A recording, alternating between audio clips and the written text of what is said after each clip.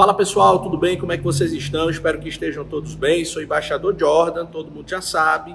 E hoje a gente vai falar sobre um tema muito interessante, que é a liderança e a inteligência emocional. Mas o que é que uma coisa tem a ver com a outra?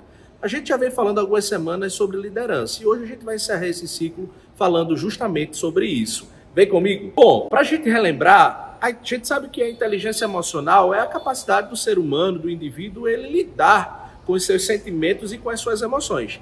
Mas não apenas com os seus sentimentos e com as suas emoções, também com as emoções e os sentimentos das pessoas a qual nós convivemos, das pessoas a qual nós lidamos, nós vivemos. E isso é um grande diferencial da inteligência emocional. Uma pessoa emocionalmente inteligente não apenas está ciente de como gerenciar as suas emoções, mas também de como as suas emoções podem afetar outras pessoas do seu convívio. Isso na liderança é completamente excepcional. Segundo Daniel Goleman, existem cinco maneiras de como a inteligência emocional pode lhe tornar um líder muito melhor. Eu vou, vou mostrar para vocês agora. A primeira maneira, o primeiro ponto, é a maior autoconsciência. É muito difícil você entender as pessoas que estão ao seu redor se você não entende a si mesmo. Então, você saber o que você está sentindo, saber o que está se passando com você é completamente essencial. Entender-se a si mesmo para você poder lidar com os sentimentos das outras pessoas. Segunda maneira, lidere com empatia.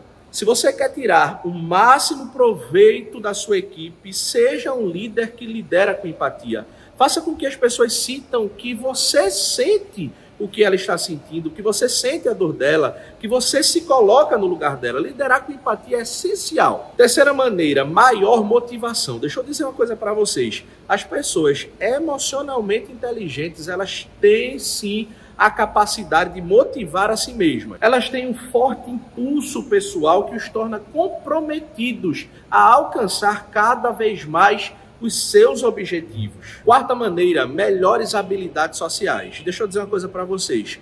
Uma das melhores habilidades sociais é a comunicação eficaz. É um traço essencial na liderança, pois eles precisam saber como comunicar a visão estratégica aos seus colaboradores. Quinta maneira, melhor autocontrole. Indivíduos com autocontrole não são emocionados nas suas tomadas de decisões.